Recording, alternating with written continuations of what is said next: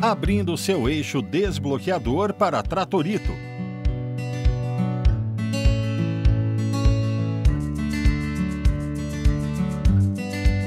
Primeiro, retire o conjunto de rodas do seu tratorito, remova os parafusos e instale o eixo desbloqueador.